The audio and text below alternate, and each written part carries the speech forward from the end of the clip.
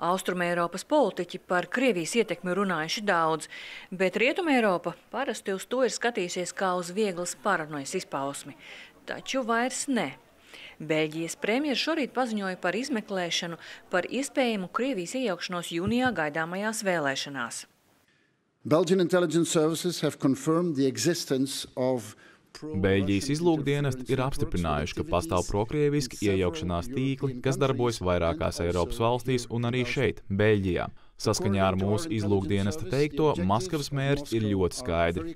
Mērķis ir palīdzēt ievēlēt vairāk prokrieviskus kandidātus Eiropas parlamentā un nostiprināt noteiktu prokrievisko naratīvu šajā institūcijā. Šīs Beļģijas, kas šobrīd ir Eiropas Savienības padomus prezidējošā valsts, lēmums seko skandālam ar ziņu vietni Voice of Europe Čehijā. Šis portāls maksājas vairākiem Eiroparlamenta deputātiem, lai veicinātu Krievijas propagandu. Un atklājoties šai informācijai, Čehi piemēroja sankcijas Putina sabiedrotajiem, oligarham Viktoram Medvečukam, kas domājams ir bijis iesaistīts šajā pasākumā. Je suis scandalisée. Esmu sašutusi dzirdot, ka šī parlamenta deputātiem un kandidātiem Eiropas vēlēšanās ir maksājusi Krievijas valdība un tās starpnieki. Maksājusi par Kremļa propagandu, par darbu pret tiem, kas viņus ir ievēlējuši. Tāpēc mēs prasām vārdus. Mēs vēlamies vārdus un skaitļus. Kam maksā, kuras puses, kādi starpnieki, kādi ir mēķi un cik ir samaksāts. Par quel intermédiaire? Pour quelle finalité?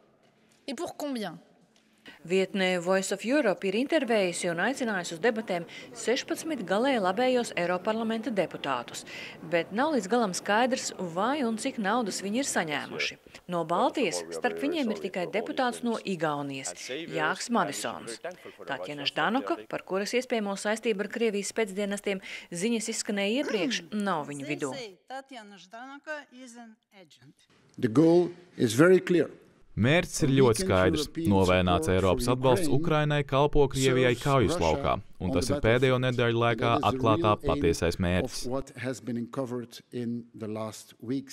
Eiropas komisijas viceprezidente Vera Jurova atzīst, ka Kremlis izmanto viltīgas metodes, uzdodoties par plašsaziņas līdzekļiem un izmanto naudu, lai vairotu savu ietekmi. Taču daudz eksperti teica, ka Krievijas dezinformācijas metodas kļūst tikai izsmalcinātākas un apjomi lielāki. Ilze Nagla, Latvijas televīzija.